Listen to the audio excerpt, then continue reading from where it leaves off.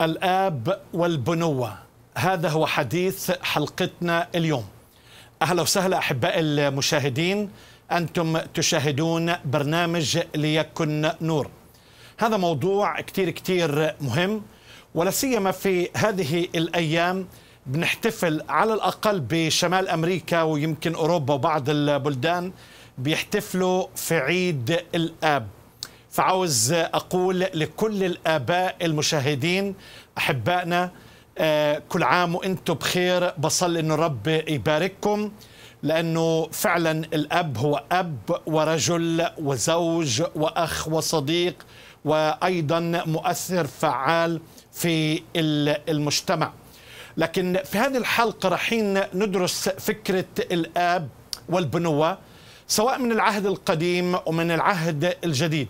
ولماذا كثير من الديانات بيسيئوا فهم هذا التعبير وبيبتدوا ينسبوا لفكرة الله الآب كأنه تجديف وكأنه يعني بنحاول نقول أشياء هرطقة أو كلمات.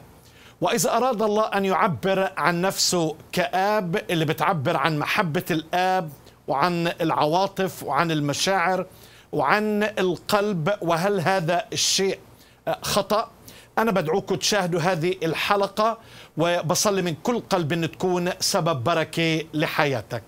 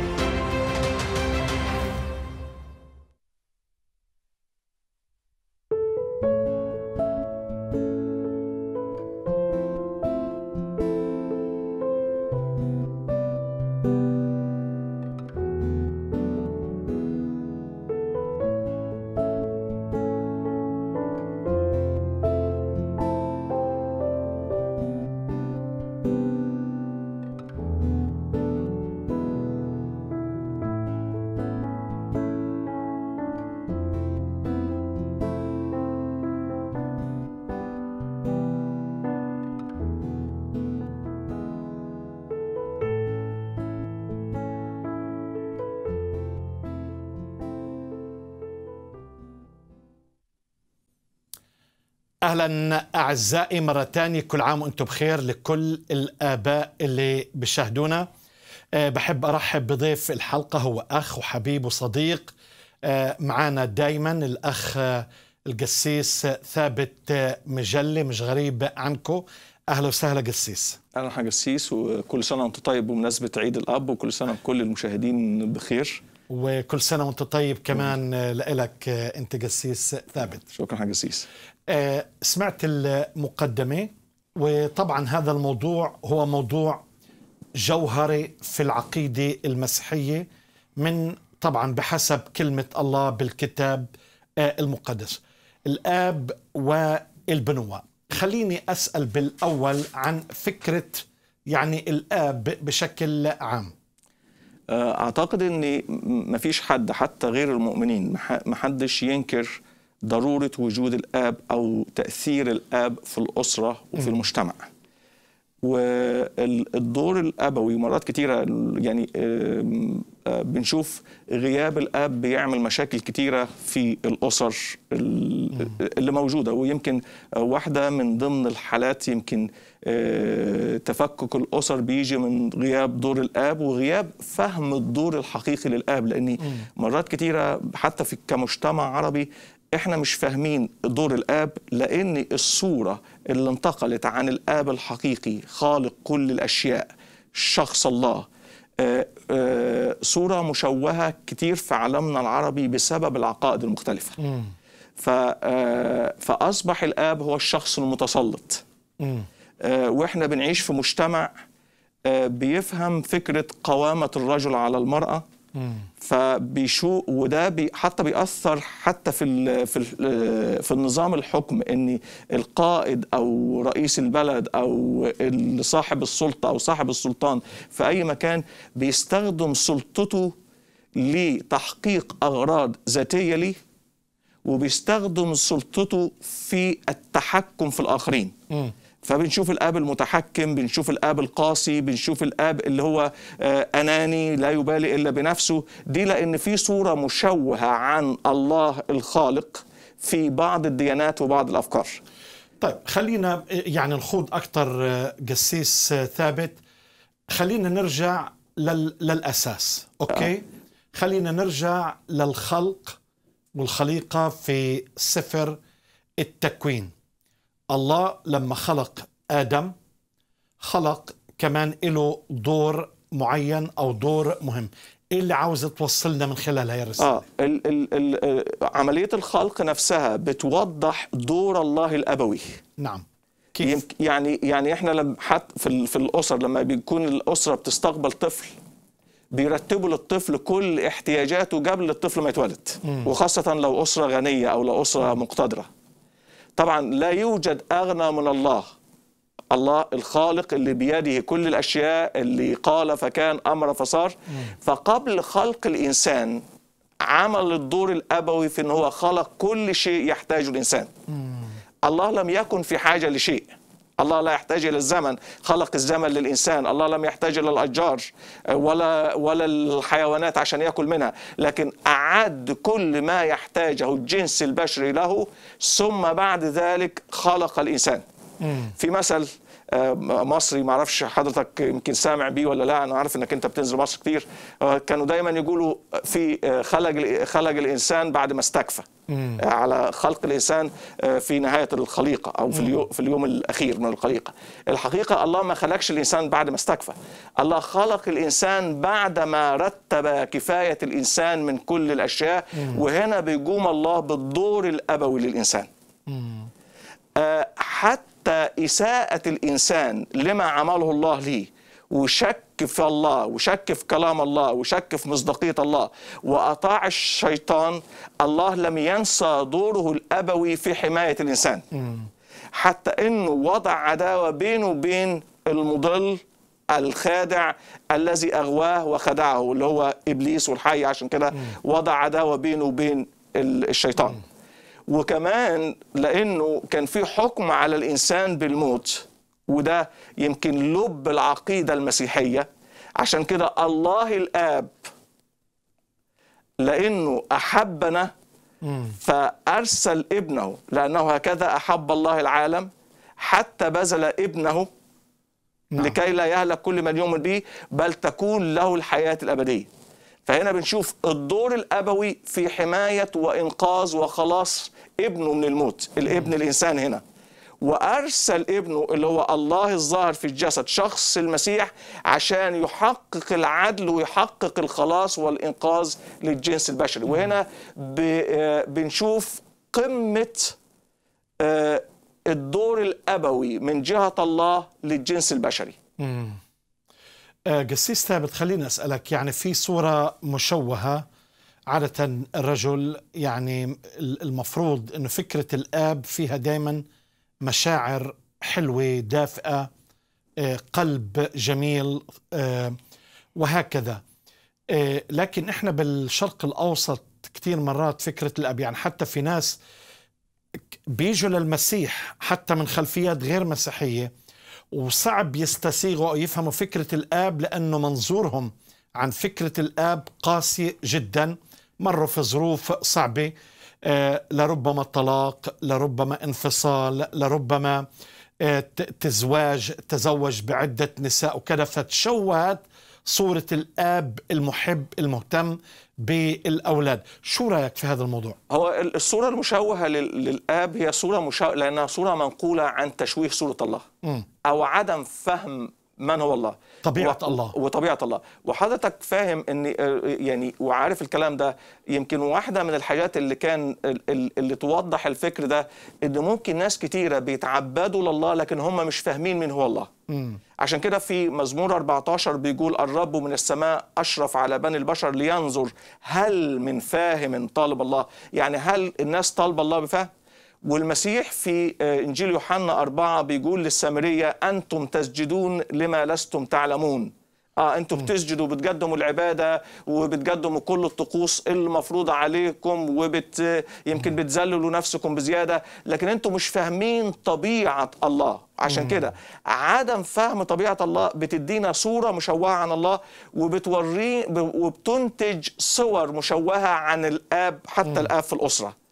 ال- ال- الآب في المجتمع العربي لأن الصورة مشوهة فأصبح الآب محتاج الناس حواليه تخدمه. يمكن حضرتك في بعض البلاد وفي بعض البلاد في الشرق الأوسط بتلاقي إن الآب يخدم.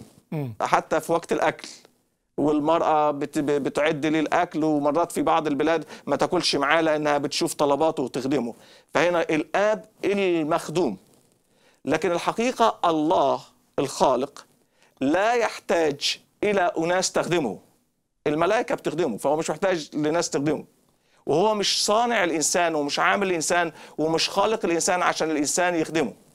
ده بالعكس إحنا بنشوف صورة الله الخادم. مرة كنت بشارك واحد من إخواتنا المسلمين لسه الأسبوع اللي فات عن فكرة الله الخادم ما قدرش يقبل الفكرة من الأساس. وأنا. وأنا شاركته كنوع من الصدام الفكري. هو راجل مفكر فأنا حبيت أحط فكرة صدام فكري لأن دايما الله هو المتسلط القاسي الماكر المضل المذل البعيد البعيد. يعني- يعني كل دي بتقدم مش إله شخصي. مش إله شخصي ومش إله يعني ده إله ما ينفعش إله. لأنه لو إله يحتاجني يبقى هو مش إله. الحقيقة هو إله أنا أحتاجه.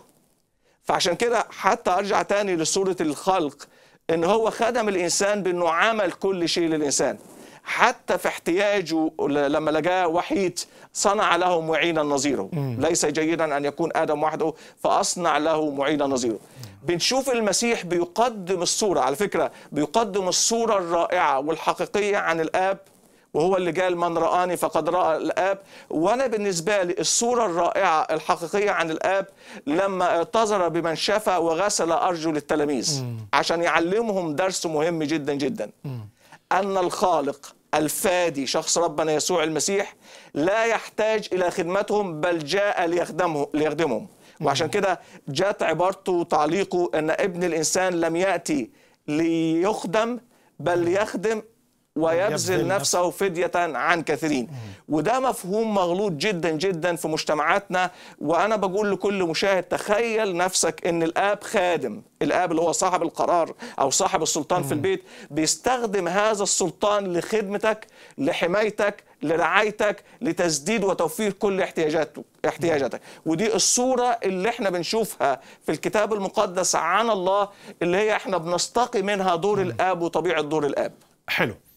طيب إحنا بنعرف إنه في العهد الجديد واحدة من أجمل الإعلانات الكتابية والإلهية المسيح يعني كشف لنا أكثر وضح لنا صورة وفكرة الآب. لكن البعض يتساءل طب هو الله إله العهد القديم؟ أليس هو آب؟ فالبعض بيعتقد إنه في فرق أو في اختلاف بين صورة الله في العهد القديم وصورة الآب في العهد الجديد مع أنه هو نفس الإله. ما هو ردك؟ أنا هاخد نموذج بس من بعض الآيات اللي جت في الإنجيل بحسب القديس متى والإنجيل كما دونه القديس متى. وبين آيات بتؤد بتتكلم بنفس المعنى ونفس الفكر في العهد القديم. وهنا في الإنجيل بحسب القديس متى. آيات كتيرة جدا بس أنا أختار مجموعة صغيرة من الآيات اللي فضل. بتكلم لنا عن فكر الله الآب. الله الآب بيعلن سلطانه كآب على خليقته ورعايته وعنايته بالخليقة في متى 6 عدد 25 وعدد 26 لما بيقول لذلك أقول لكم لا تهتموا لحياتكم بما تأكلون وبما تشربون ولا لأجسادكم بما تلبسون. أليست الحياة أفضل من الطعام والجسد أفضل من اللباس؟ انظروا إلى طيور السماء أنها لا تزرع ولا تحصد ولا تجمع إلى مخازن وأبوكم السماوي يقوتها ألستم أنتم بالحري أفضل منها؟ وهنا بنشوف أن الإنجيل بحسب القديس متى بيقدم صورة الآب الراعي الذي يسدد احتياجات أولاده وأبنائه. ومش و- بس حتى العصافير. حتى العصافير. وعشان كده هو بيقول وبيعلن اللفظ أبوكم السماوي. المعنى ده بنشوفه في مزمور 37 آه، عدد أربعة وعدد 25 بيقول تلذذ بالرب فيعطيك سؤل قلبك. وبعد كده في عدد 25 بيقول إيه أيضا كنت فتى وقد شخت ولم أرى صديقا تخلي عنه ولا ذرية له. تلتمس خبزاً. فنفس المعنى اللي موجود في الإنجيل بحسب متى أبونا السماوي بيعتني بينا المعنى لخصه آه، في آه، في سفر المزامير إنه من البداية كنت فتى وقد شخت ولم يتخلى عن صديق ولا حتى أولاده كانوا بيطلبوا الخبز لأنه يعلم احتياجاتهم ويهتم باحتياجاتهم.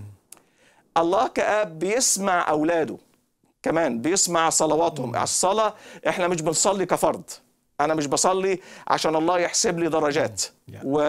والكلام ده. لكن أنا بصلي لأني علاقة أنا في احتياج إن أنا ألتقي مع أبويا. في احتياج إن يكون لي علاقة شخصية مع أبويا.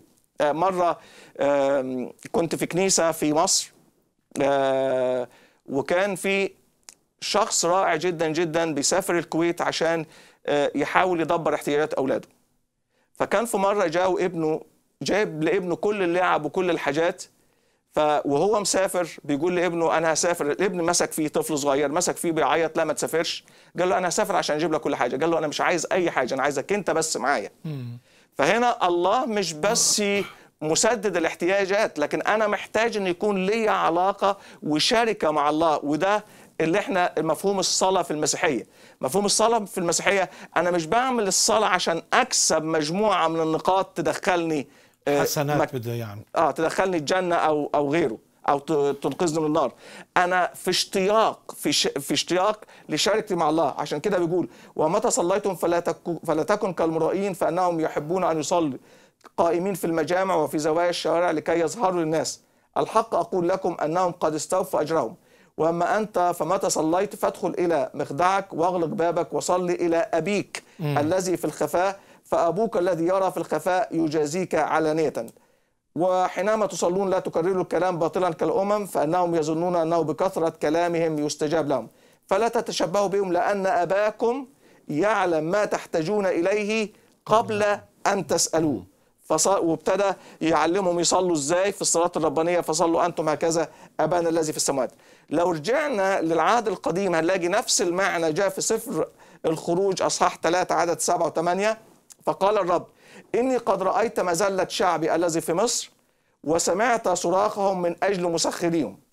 ومرة بيقول سمعت صراخهم ومرة بيقول سمعت أنينهم الأنات اللي هو محدش بيشعر بيها. فالله بيشعر بينا وبيسمعنا. إني علمت أوجاعهم طيب الآب لما يعلم أوجاع أولاده بيعمل إيه؟ فنزلت. فنزلت لأنقذهم من أيدي المصريين وأصعدهم من تلك الأرض إلى أرض جيدة وواسعة إلى أرض تفيض لبنا وعسلا. وهنا بنشوف دور الآب وعلاقته بأبنائه وإزاي لما بيسمع أبنائه. بنلاقي نفس المعنى في ملوك الأول 9 3 لما بيقول له قال له الرب قد سمعت صلاتك وتضرعك الذي تضرعت به أمامي قدست هذا البيت إلى آخر الآية. آه، ملوك الثاني 20 5 بيقول ارجع وقل لحزقية رئيس شعبي. هكذا قال الرب إله داود أبيك. وهنا بنشوف مفهوم الآب. قد سمعت صلاتك قد رأيت دموعك هنذا أشفيك. فهنا بنشوف الله ودوره كأب في العهدين في العهد القديم أو العهد الجديد. الحاجة الثانية اللي بيعلنها القديس متى؟ إن الله الآب صالح للكل. وبنشوف ده في متى 5 45 لكي تكونوا أبناء أبيكم الذي في السماوات فأنه يشرق شمسه على الأشرار والصالحين ويمطر على الأبرار والظالمين. بنشوف نفس المفهوم ونفس الكلام إن الله صالح للكل في العهد القديم في مزمور 145 8 و9 الرب حنان ورحيم طويل الروح وكثير الرحمة. الرب صالح للكل ومراحمه على كل أعماله. يبقى هنا مش بيميز بين أولاده حتى أولاده بالخلق. حتى الأشرار ويمكن صوره حرجسيس لو رجعنا ليها صوره في العهد الجديد صوره الابن الضال. الابن الضال خد كل حقوقه حتى مش حقوقه لأن هو الأب كان لسه حي وإحنا عارفين في الشرق الأوسط الابن يرث لما الأب يموت. وكأنه بيقول للأب أنت مت لكن رغم هذا ورغم إساءة الابن ورغم ضلال الابن وبعد الابن الآب بروح الإبوة كان منتظر رجوع الابن إليه.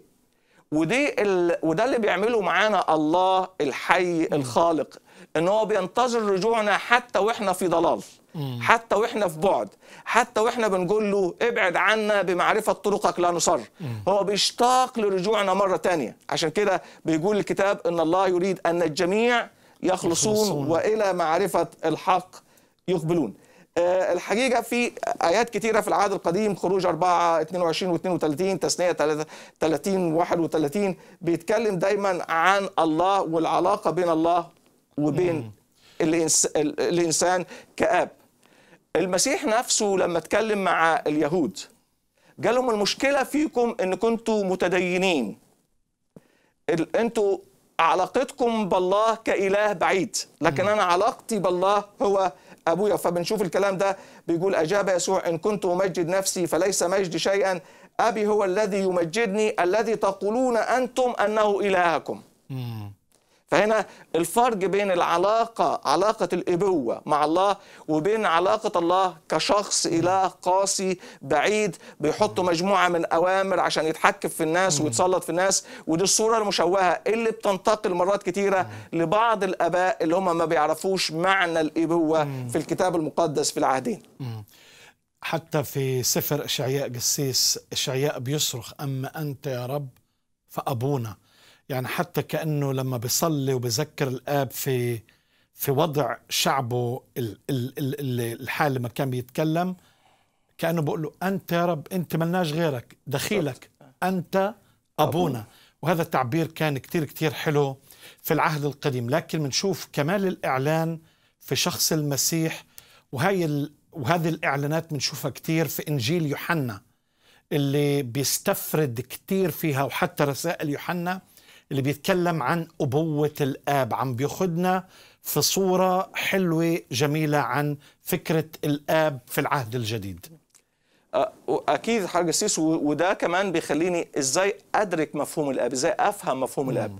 وبنشوف أن في الرسالة الأولى إلى يوحنا رسالة sorry رسالة يوحنا الأولى أصحاح واحد عدد ثلاثة بيقول انظروا أية محبة. أعطانا الآب حتى ندعى أولاد الله. من أجل هذا لا 3 1 يوحنا الأولى sorry يوحنا الأولى 3 1 sorry انظروا أية محبة أعطانا الآب لا. حتى ندعى أولاد الله ومن أجل هذا لا يعرفنا العالم لأنه لا يعرفه فهنا بنشوف نعم. إن بيتكلم ان في حالة خاصة تخليني أدرك مفهوم الإبوة مفهوم إبوة الله مم. المحبة التي منحنا منحها لنا. والمحبة دي لأن الله لو تعامل مع العالم بعدل فقط. لما بقي إنسان في العالم لأن الجميع زاغوا وفسدوا وأعوزهم مجد الله. لكن الله تعامل كآب. لأن في مرات كتيرة وسؤال بيجي حرج السيس وأكيد السؤال ده أنت سمعته كتير وجا كتير. هو ليه الله أرسل المسيح للصليب؟ ليه الله ما خدش قرار أنه يغفر للعالم؟ أو مرات واحد يقول لك طب هو ليه الله ما دمرش الخليقة دي وحقق حكمه في آدم وعمل خليقة جديدة؟ هو كان هيغلب. إيه اللي يخلينا نعمل الحكاية دي؟ الفكرة ده مفهوم آه محتاج الإنسان يسمع الله ومحتاج الروح القدس كمان يعد القلوب عشان تفهمه. لأنه فكرة إنك أنت ترمي البشرية وتجيب خليقة جديدة ده يبقى الله صنع مجرد أدوات مش بشر ليهم علاقة بيه. ده هو اللي خلقهم على صورته نعمل الإنسان على صورتنا كشبهنا. عشان كده محبة الله تخلي الإنسان غالي عليه مش هيرميه خلاص الإنسان مش أدوات للتدمير أو حتى أدوات لحماية الله أو أدوات لتنفيذ أغراض الله. لا الإنسان غالي على قلب الله. عشان كده يوحنا بيقول انظروا أية محبة. وحتى عبارة أية دي عبارة للتعجب والإندهاش. وكم المحبة الذي لا يقارن اللي مش ممكن أحد يعمل المحبة دي. لأنه ليس لأحد حب أعظم من هذا. أن يضع أحد نفسه من أجل أحبائي فهنا بيتكلم عن المحبة العجيبة من الله لينا. لأن المحبة العجيبة بمعنى إيه؟ ودي محبة الآب حرجسيس. يا. الآب مش بيحب أولاده لأنهم بيحبوه. الآب بيحب أولاده حتى اللي مش بيحبوه. بغض النظر. بغض النظر. وحتى الإنسان الشرير من أولاده هو دايما بيصلي بدموع إنه يرجع. والكلام ده حاجات عملية بنشوفها كتير وحضرتك بتشوفها كتير في أسر لو يشوف الابن بعيد أو الابن قاسي شوية بتشوف دموع الأسرة دموع الآب من أجل رجوع أبنائه. فده نفس العمل اللي بيعمله الله إن هو حتى الأبناء اللي هم عاصيين أو خطاة هو بينتظر رجوعهم. فهنا محبة عجيبة كلفت الله أن يرسل ابنه. الله الظاهر في جسد. شخص ربنا يسوع المسيح عشان يموت عشان يفدي هذا الإنسان وتتجلى المحبة في قمتها في الصليب. فعشان كده هي محبة عجيبة جدا جدا هي اللي تخلينا ندرك مفهوم الآب. وهي اللي بتخلي ناس كتيرة مش فاهمة الله. يعني إن فاهم الله إنه بس صاحب السلطة والسلطان القاسي اللي هو آه، قاعد بس كل شوية يدمر عامل البشرية لعبة يدمر البشرية. يستنى البشرية تغلط أو كذا فالإنس فعمليا البشرية مرعوبة خايفة من هذا ف- فهنا فهنا ال- الحقيقة ال- الإدراك فهم الإبوة. لازم نفهم محبة الله ونعرف إن محبة الله للكل. نعم. وعشان كده لا يشاء موت الخاطي هو مش وده الفكرة اللي حضرتك قلتها إن هو مش قاعد لنا على الغلطة و... أو حتى مرات كتيرة ده في آلهة بتعمل إزاي؟ بتنصب لك فخ عشان تقع في الغلط ولما تقع في الغلط يبتدي يعاقبك. وفي آية في القرآن بتقول إن أردنا أن نهلك مدينة أمرنا مترفيها أن يفسقوا فيها فحكمنا عليها ودمرناها تدميرا. يبقى هو الفكرة إنه بيتلكك عشان الإنسان يغلط لكن ده مش إلهنا. إلهنا الحقيقة آه، يعني يصر. برجوع بر- الخاطئ. برجوع الخاطي بال- بالمحبة بتاعته لأن ده المحبة اللي أعلنها الله. وزي ما قلت لحضرتك إني إني أعلنها في المسيح وفي صليب المسيح. كمان هو بيحبنا لدرجة إنه لما جاء إلى الأرض فإذ قد تشارك الأولاد في اللحم والدم اشترك هو أيضا كذلك فيهما جاء عشان كمان يعرف معاناتنا وتجربنا. لأنه إذ قد تألم مجربا يقدر أن يعين المجربين. فهو مش بعيد عنا.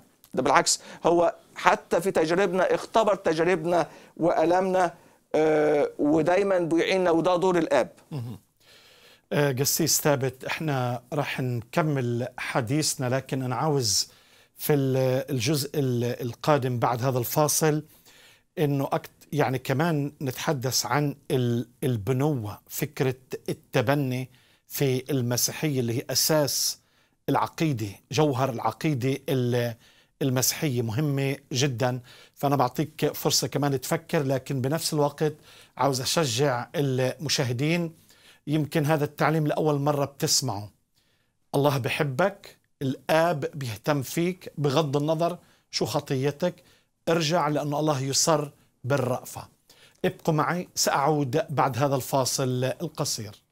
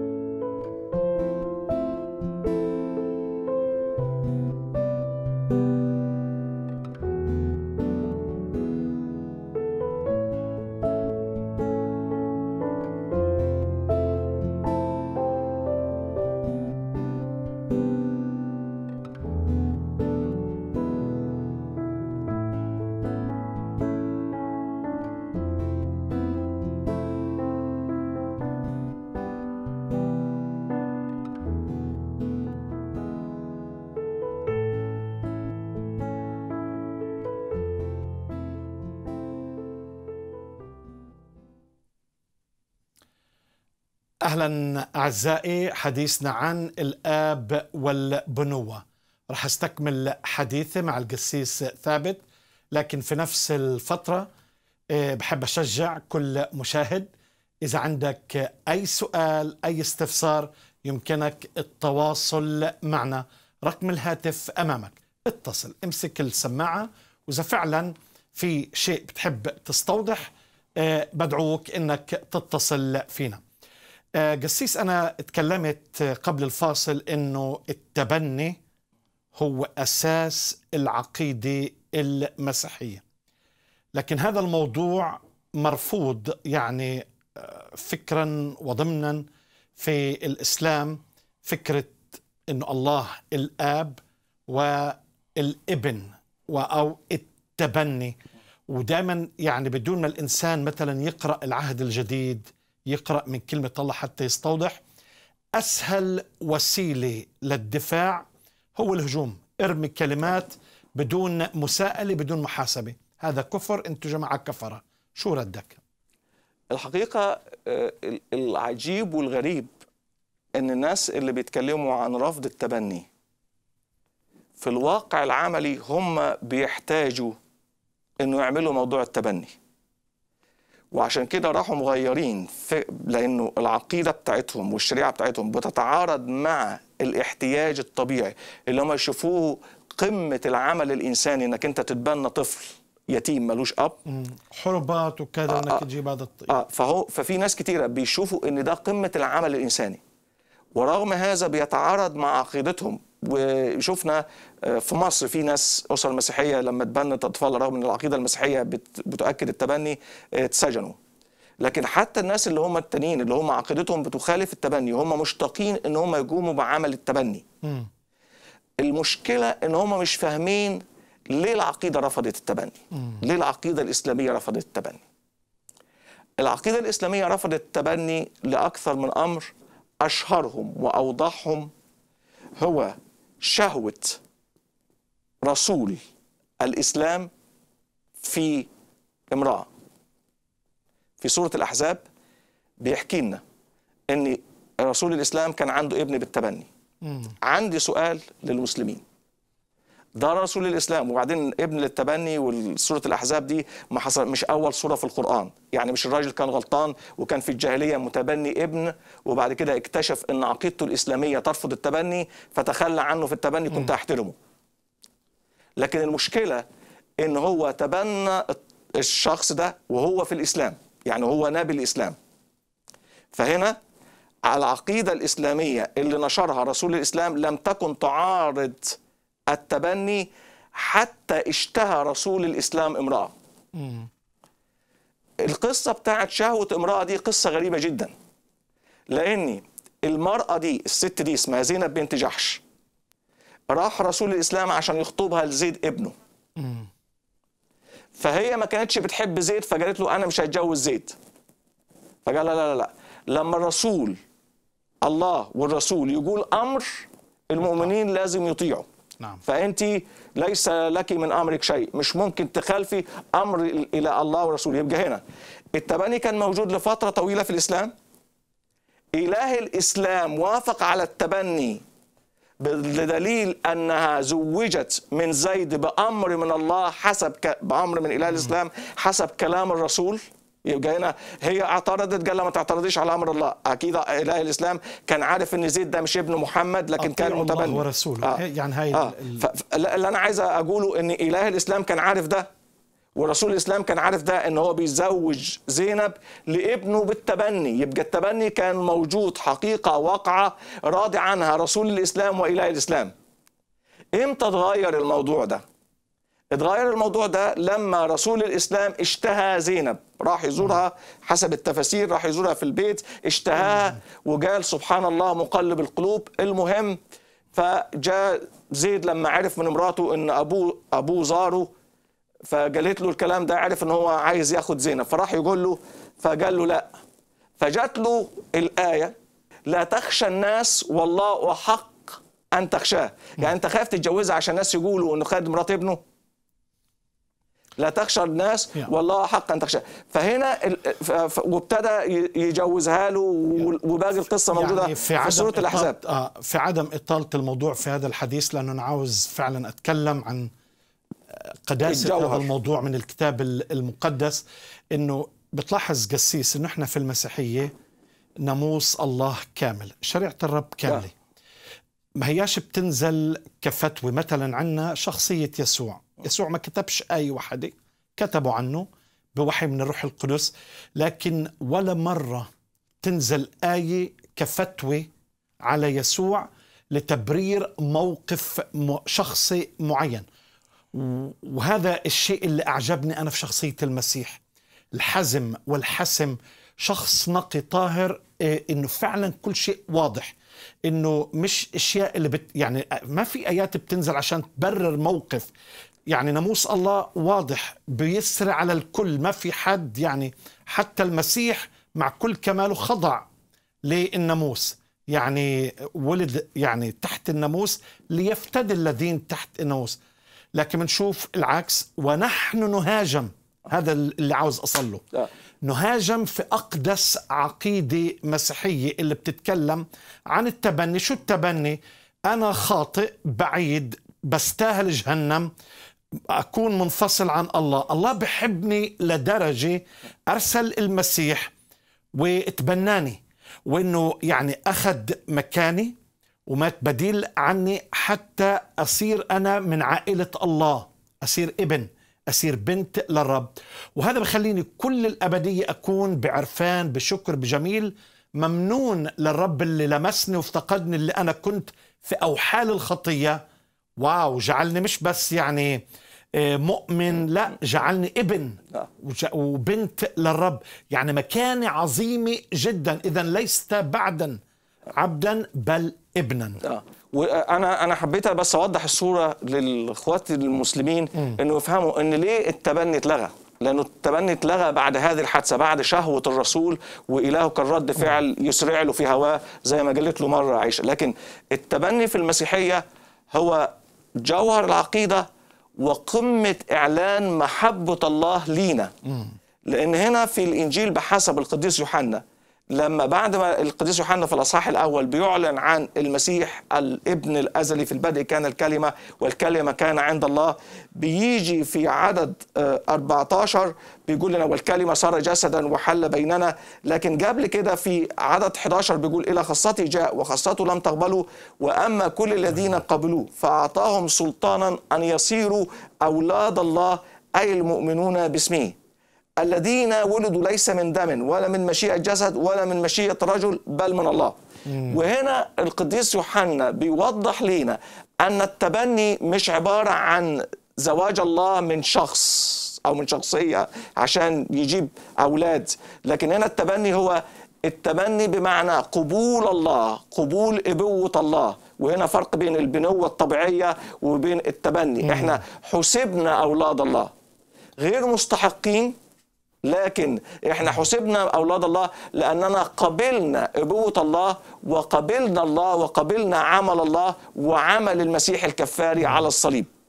فدي حاجة في الإنجيل بحسب القديس يوحنا. نعم. لو هنرجع تاني مش عارف الوقت بتاع حضرتك إزاي لكن لو هنرجع تاني ونتكلم عن التبني وخاصة ال- الآيات اللي إحنا ذكرنا منها بعض الأشياء في الرسالة الأولى إلى آه، رسالة يوحنا الأولى أصحاح ثلاثة. لما بيتكلم آه، بعد ما قال انظروا آيات محبة أعطانا الآب حتى ندعى أولاد الله بل من أجل هذا لا يعرفنا العالم لأنه لا يعرفه. أيها الأحباء الآن نحن أولاد الله. فهنا بيعلن بنويتنا لله.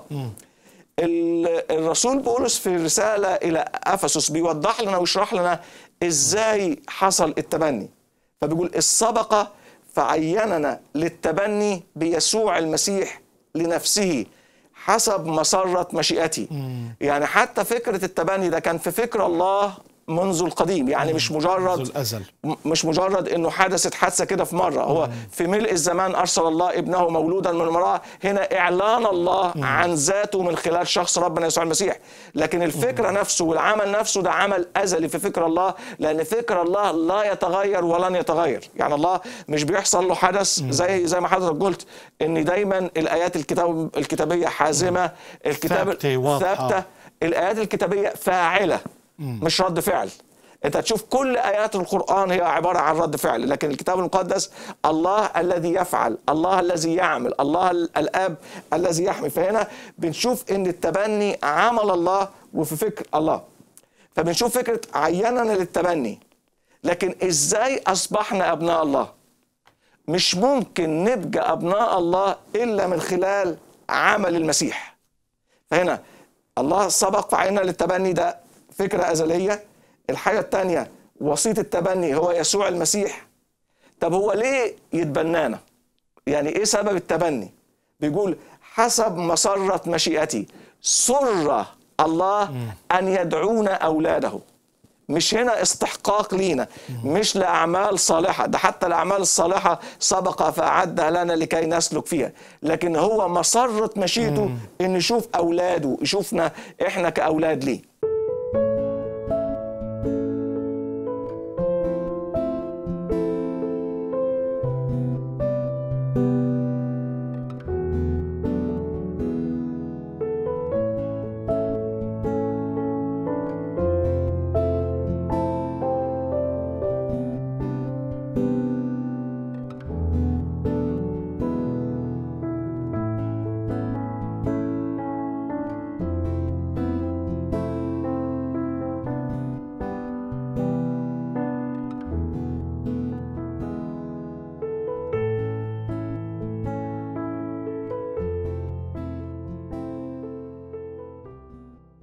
أعطي فرصة كمان لكل مشاهد آه، إذا الموضوع أثار فكرة معينة شيء آه، معين في داخلك آه، بنحب نسمع منك فيك تتواصل الخطوط مفتوحة الآن.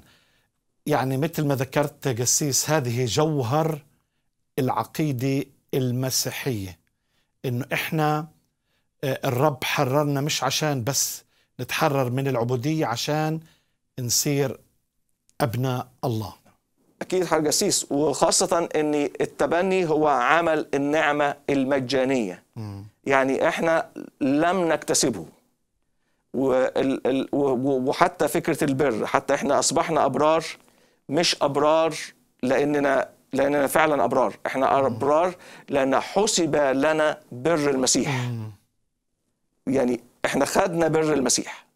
المسيح هو اللي بررنا. فهنا فأصبحنا أبرار من خلال بر المسيح أصبحنا أبناء لله من خلال إيماننا للمسيح بالمسيح ومن خلال عمل المسيح. لأن الحقيقة؟ لو إحنا رجعنا لرسالة إلى أهل أفسس هنلاقيه بيتكلم عن موقفنا موقف العداوة. إن إحنا كنا أعداء كنا بعيدين كنا غاربين عن رعوية إسرائيل. لكن هو عمل معنا إيه؟ هو فدانا بدمه اشترانا بدمه. حتى فكرة التبني مكلفة لله.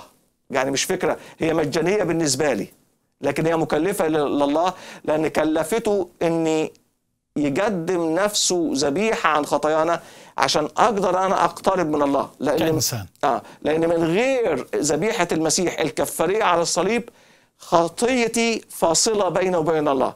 اللي حصل إن المسيح حمل خطاياي. عشان كده إداني البر.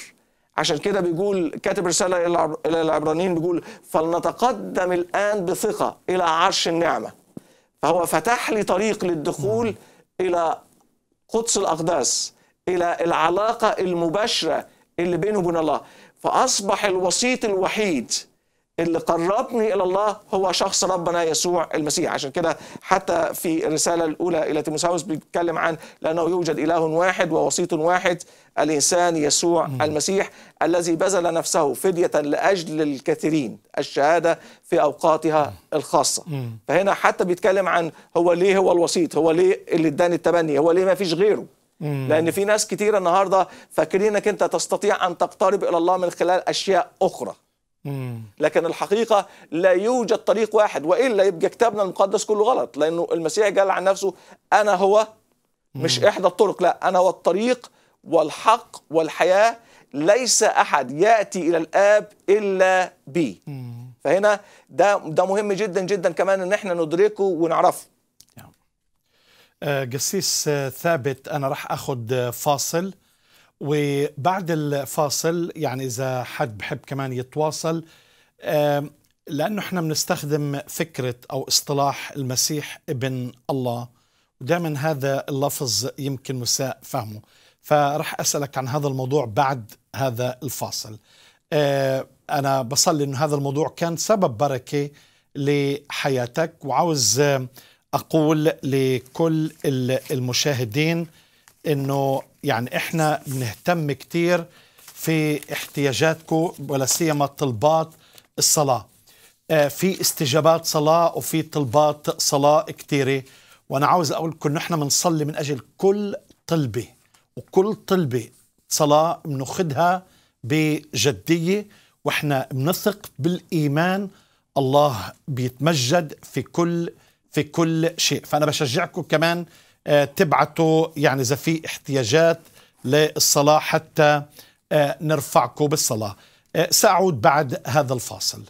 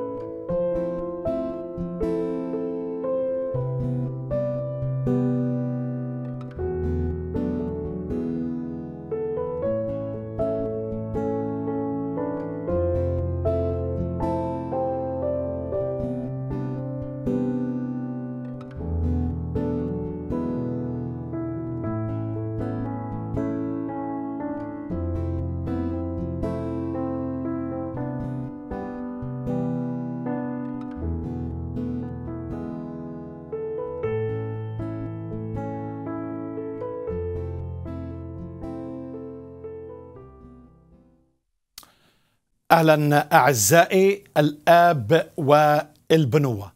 وطبعا هذا بشوفه كتير على الفيسبوك لما بفوتوا على صفحتنا. واحدة من الأشياء أو أكثر هجوم على هذا الموضوع. وبكل بساطة يعني أنا أقول للشخص طب أنت اسأل المسيحي ليه هو بآمن بهذه الفكرة الفكرة قبل ما إنك تتهم بالتجديف والكف والكفر. ماذا تخبئ؟ يعني دائما بركزوا على ناحية كأنه إحنا كفرة أو مجدفين في هذا الموضوع مع أنه العقيدة المسيحية تؤمن بإله واحد ولكن طبيعة هذه الوحدانية الجامعة بنسميها لكن بدل ما أنه يبحث ليه من آمن وشو السبب وشو الهدف آه نهاجم في هذا الموضوع. فالشيء الثاني مش عاوز يقرأ لأنه إذا قرأ وهذا التحدي. إذا بتقرأ كلمة الله رح تغيرك. مشان هيك في كتير ناس ما بدوش يقرأ لأنه رح يتغير بخاف من فكرة التغيير. شيء ثالث طب إذا أنا بلقي التهم مجدف كافر إلى آخره أنا عم شو بخبي؟ طب إذا أنا ديانتي واضحة صحيحة هل أنت مستعد إنك تتلقى نقول لك كمان تعبيرات وإلا يجن جنونه؟ هو بيطلق لنفسه العنان إنه يهاجم ويعمل كل شيء بدون ما يبحث ولكن بكل بساطة إنه نسأل ليه؟ ماذا تخبئ؟ شخصية المسيح واضحة جدا مقدس بشهادة الأعداء قبل الأصدقاء وهذا مهم جدا. لكن ماذا تخبئ؟ شخصية مين؟ النبي أو الكتاب أو الله أو ماذا تخبئ؟ فهذا سؤال كتير كتير مهم. فإحنا لما نقول المسيح ابن الله دائما إحنا بنقول حاشا إنه الله يلد أو يولد وحاشا لأنه إنه الله تكون له صاحبة. من أين هذه الفكرة؟ طب ما هو ليه ما سألش؟ طب ما فيش مسيحي في العالم يؤمن بهذا الشيء. أكيد. أنت تؤمن؟ لا. أنا لا. ما فيش أي مسيح. وعلى فكرة على اختلاف الطوائف المسيحية. إحنا عندنا مليان طوائف ومعظم هاي الطوائف في اختلافات مرات كبيرة ولا لا؟ لكن مع كل هذا ما فيش مسيحي في العالم عنده الغباء يؤمن إنه الله تجوز عنده صاحبة ولا إنه يؤمن إنه الله يلد أو يولد كتناسل جسد الطبيعي؟ حاشا. الله أعظم أقدس من هذا الفكر اللي ممكن بس بشكل عشوائي نزت الكلام. شو بخبي أنا؟ ليه؟ فهون السؤال. بليز رد على الجواب. ال- ال- المشكلة ممكن كنت متقابل مع حد من المسلمين ال- يمكن من كام يوم والفكرة بتاعته هو فاهم إنه كل اللي عنده صح من غير ما يفكر. مم. يعني مجال التفكير مغلق. أنا مش مستغرب ولا مندهش من إغلاق مجال التفكير. لأن الكتاب المقدس بيقول أن الشيطان أعمى أذهان غير المؤمنين. ولو أنا حبيت أشوف أعمى أذهان غير المؤمنين إزاي هلاقي آية قرآنية بتقول لا تسألوا عن أشياء أن تبدى لكم تسيئكم. فالفكر الإسلامي حتى في فكرة إني لم يلد ولم يولد ولم يكن له كفوا وأحد. آه، ده آه، لو إحنا شفناها دي سورة الإخلاص هنلاقي بيبدأ بيقول قل هو الله أحد الله الصمد.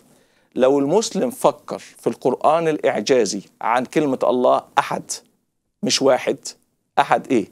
احد فهيلاقي الآلهة أحد الملائكة أحد فهيلاقي نفسه أوكي. عنده مشاكل كتيرة جدا جدا حتى في الآيات اللي بيستخدمها ضد أفكار تانية من غير ما يفهم.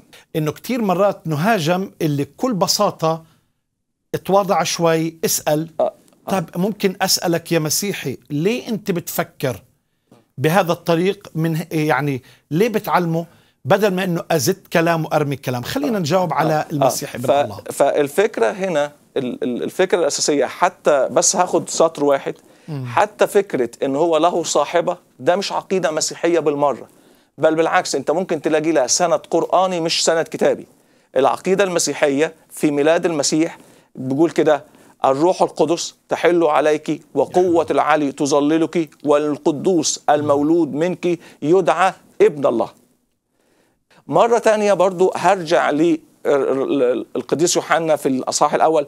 والكلمة صار جسدا وحل بيننا. والمسلم بيؤمن أن المسيح هو كلمة الله. نعم. ويوحنا بيبدأ في البدء كان الكلمة والكلمة كان عند الله وكان الكلمة الله. فهنا بيقول مين هو المسيح؟ مين هو الابن؟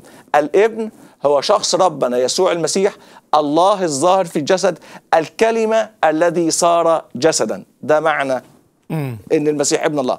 حاجة تانية ده يمكن واحد يقول لك ده تفسيركم أنتوا كمسيحيين. طب تعالوا نشوف تفسير الجماعة اليهود. فهم اليهود لما المسيح قال عن نفسه ان هو ابن الله فهموها إزاي؟ هل فهموها إن الله تزوج بصاحبة وأخذ صاحبة؟ وأصبح عنده ابن ولا فهموها بطريقة تانية.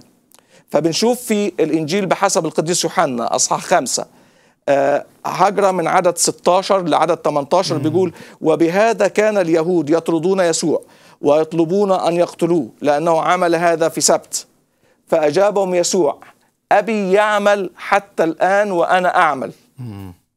فمن أجل هذا كان اليهود يطلبون أكثر أن يقتلوه لأنه لم ينقض السبت فقط بل قال أيضا إن الله أبوه معادلا نفسه بالله. يبقى لما المسيح قال أبي يعمل حتى الآن وأنا أعمل اليهود حبوا يقتلوه ليه؟ فهموا كلمة ابن الله بمعنى إيه؟ إن هو الله. إن هو معادلا بل قال أيضا أن الله أبوه معادلا نفسه بالله. يبقى الفكر اليهودي فهم في الوقت ده إن كل ابوه الله للمسيح ان هو معادل لله. وده بيتفق مع اللي كتبه الرسول بولس اللي هو ليه الخلفيه اليهودية اللي هو تعلم عند رجلي غمالئيل. لما اتكلم في فيليبي الذي لم يحسب أن يكون مع... الذي لم يحسب خلسه أن يكون معادلا لله بل أخلى نفسه اخذا صورة عبد إذ وجد في الهيئة كإنسان وأطاع حتى الموت موت الصليب. فدي البنوة اللي إحنا بنفهمها كمسيحيين. ابن الله هو الكلمة الذي صار جسدا. ابن الله الله الظاهر في الجسد مش ابن بالتناسل. ابن الله الأزلي اللي هو في البدء كان الكلمة وكان والكلمة كان عند الله وكان الكلمة الله. فده بيورينا فهمنا نعم. لمعنى ابن الله. آه لا كويس. آه أنا بشكرك كثير قسيس أنك ذكرت أنه كيف معاصري يسوع المسيح فهموا الكلمة. حتى لما رئيس الكهنة سألوا أأنت ابن الله؟ يعني قال هذا تجديف مزق ملابسه لأنه كيف فهموا اللي فهموا رئيس الكهنة هم دول يهود وإحنا بنعرف اليهود وأنا عشت في في فلسطين والأراضي المقدسة وأنا عارف إنه لا تقول لي ما شفت الش... آه شفت أنا تدين مظاهر تدين وكذا مثلا في شعوب كثيرة وفي ديانات كثيرة لكن اليهود يعني ماشيين مش على النقطة على نقطة النقطة في تتميم كل كلمة. فهن يعني أقرب الناس أنه يفهموا شو فهموا الكلمة من يسوع. فإذا ما في حد فهم أنه تناسل جسدي ولا له صاحبة. وهون عاوز بس أزيد آية. قال يسوع في إنجيل يوحنا إصحاح عشرة آية 30 أنا والآب واحد. فتناول اليهود أيضا حجارة ليرجموه. أجابهم يسوع أعمالا كثيرة حسنة أرأيتكم من عند أبي؟ بسبب أي عمل منها ترجمونني؟ أجابه اليهود قائلين لسنا نرجمك لأجل عمل حسن بل لأجل تجديف. فإنك لاحظ الكلام فإنك وأنت إنسان تجعل نفسك إلها. فطبعا كان جواب المسيح أنا قلت إنكم آلهة. يعني بيتكلم عن العهد القديم فالذي قدسه الآب وأرسله إلى العالم أتقولون له إنك تجدف؟ لأني قلت إني ابن. الله. وبكمل يا ريت الشخص اللي كتب لي على الفيسبوك وين مكتوب إنه قال المسيح أنا ابن آه الله. فواضح الكلام. ممكن الحديث يطول ويطول. خلاصة الحديث عن هذا الإيمان. التبني ابن الله في دقيقة. أولا عقيدة بها نقترب إلى الله وبدونها لا نستطيع أن نقترب أو نصل إلى الله. م. لأنه التبني من خلال عمل المسيح الكفار على الصليب أصبحنا أولاد الله لأننا قبلناه. هو ابن الله بالمعنى اللي فهموه معاصري اليهود وحضرتك وضحت أكتر كمان آه إن هو معادلا نفسه لله. فأنا بصلي من أجل كل مشاهد أن ربنا يديله نعمة حتى يقبل هذا العمل الكفاري عمل التبني فيصير ابن الله لأن بدون ذلك لا طريق إلى السماء ولا طريق إلى الله مهما عملنا من عادات وممارسات وطقوس.